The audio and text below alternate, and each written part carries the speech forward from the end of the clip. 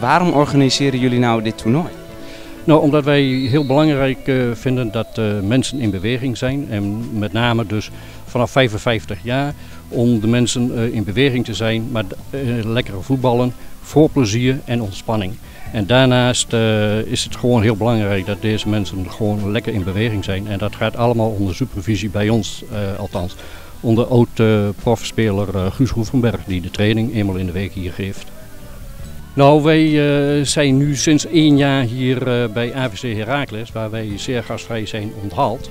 En uh, zoals je ziet, het gaat hier lekker prima. Het is lekker vrij voor ons.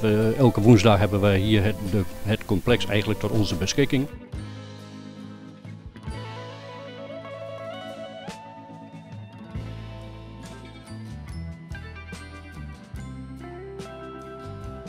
Wat is nou zo leuk op voetbal op deze leeftijd?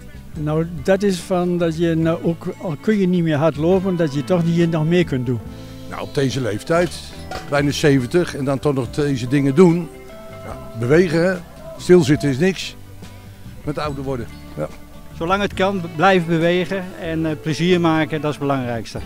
Het bewegen op zich, het spelletje met de bal natuurlijk, techniek, inzicht en de derde helft ook vooral.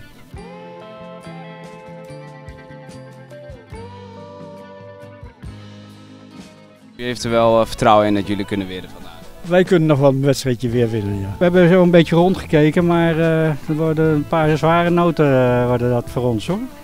Maar we gaan ons best doen. Nou, we zullen vast geen eerste worden. We zijn al lang blij dat we met zeven mensen zijn. En uh, we spelen puur voor ons plezier en we zien het wel hoe ver we komen.